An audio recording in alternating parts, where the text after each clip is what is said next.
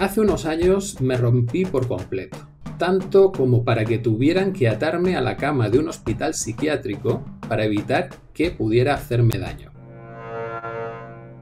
No tengo ni idea de cuándo empezó a formarse mi locura. A lo mejor nací genéticamente predispuesto.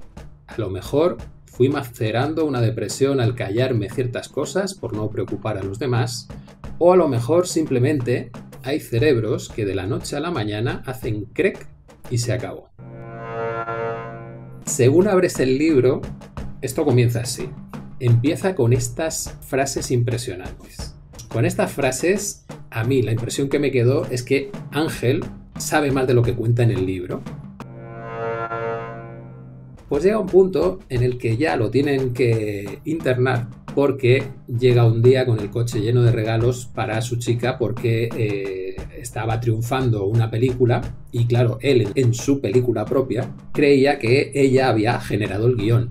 Y entonces, pues su chica ya dice, uy, este no está demasiado en contacto con la realidad, llama a un amigo y lo llevan al hospital.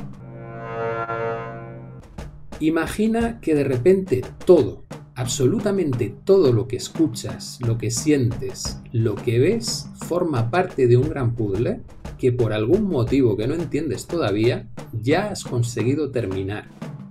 Imagina que cada sonido, cada olor, cada imagen, cada gesto, cada sensación que sientes están relacionados entre ellos y además te dan pistas exactas de hacia dónde debes ir, qué pensar y qué mirar para que tu vida sea perfecta. Imagina tener la certeza de que el universo está susurrándote al oído que por fin has conseguido deshacer todos los nudos y encajar todas las piezas para poder vivir sabiendo que ya nada saldrá mal si escuchas bien.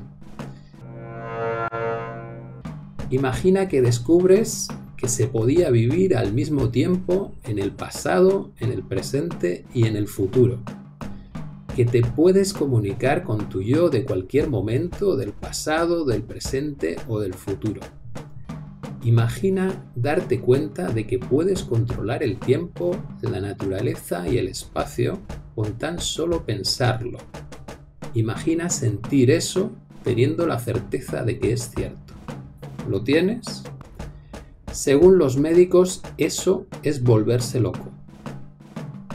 Ahora imagina perder de golpe esa sensación. Eso es volverse loco de verdad. A mí este comienzo ya me deja loco también.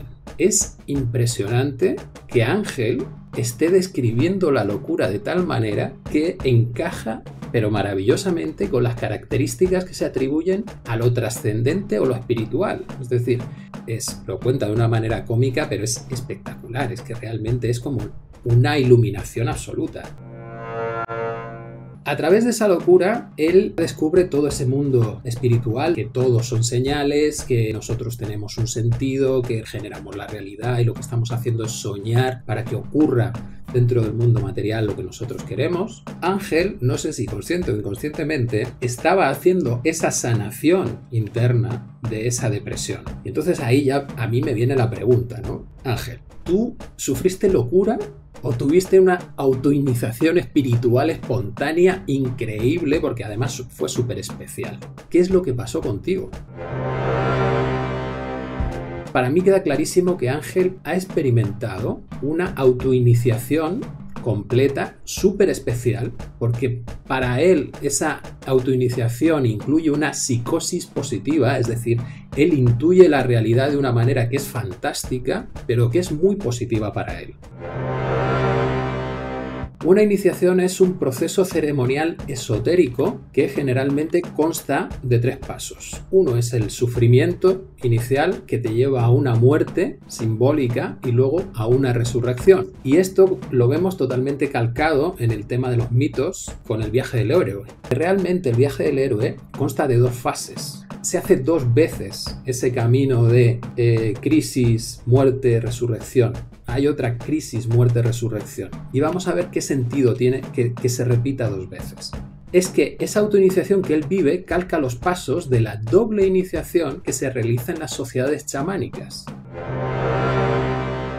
Este vídeo sí que es algo que realmente a mí me llega mucho es un vídeo en el que vamos a explorar las similitudes y diferencias entre la locura y la espiritualidad. Lo que queremos hacer es dar una visión desde otros enfoques. Aunque tenemos el arte y tenemos la sociología, pues queremos tirar más también hacia esa conexión que puede tener con el chamanismo a través de la neurología o incluso la teoría de sistemas complejos. Todo esto lo vamos a poder hacer gracias al libro Por si las voces vuelven y es de Ángel Martín, un famoso artista cómico español que ha estado en la tele y ha tenido varios programas y hacía monólogos muy buenos.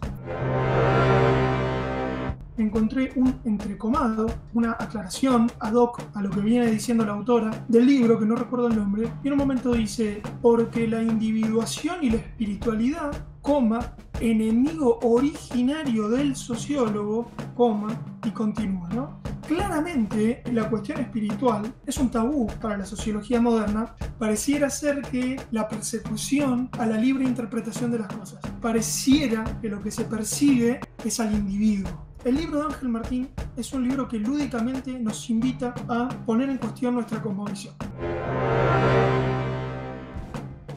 lo que diría la academia artística, se quedaría con la estética de cómo Ángel cuenta. Dirán qué interesante este humorista por tipo atravesó una autoiniciación que no solo le sucede a él, él tiene esta característica de como humorista tener el recurso para comunicarlo de una forma agradable. Pero hay un montón de gente eh, que ha pasado por historias eh, similares. Me encuentro con la arte terapia y por eso este lugar es todo lo opuesto. Vengan todos, aunque no hayan estudiado arte, vengan por favor. Y Lole es el que trata de recordarles a ustedes su propio artista. Tened en cuenta que un chamán no es un loco. Un chamán en esas culturas es el hombre sabio, místico, sanador, mago, artista, el que tiene todas las cualidades, el que abarca todos los campos esas personas que han tenido un contacto con lo místico te dicen que se siente una unidad en la complejidad del todo, de toda la creación, que además tienes la sensación de trascender el tiempo y el espacio, que lo vives de otra manera y lo entiendes de una manera totalmente diferente. ¿Y qué pasa cuando te vas al abismo? Pues que neurológicamente se produce el crack